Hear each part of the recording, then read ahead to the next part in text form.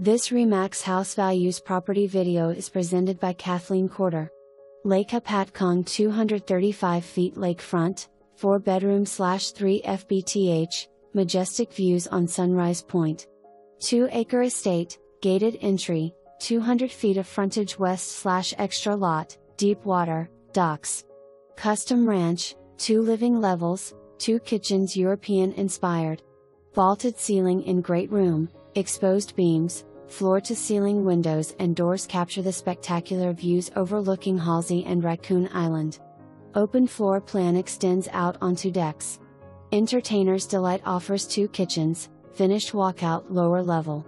Two brick wood burning fireplaces, four bedrooms, three baths, bonus room surrounded by glass extends out to L slash level deck and patio and separate built-in sauna. Lake frontage approximate 200 feet with boathouse opportunity on main lake deep water location. Private treat lot west slash additional building lot.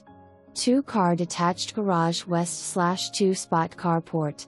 For more information, review the details below or contact Kathleen Courter at 973 770 7777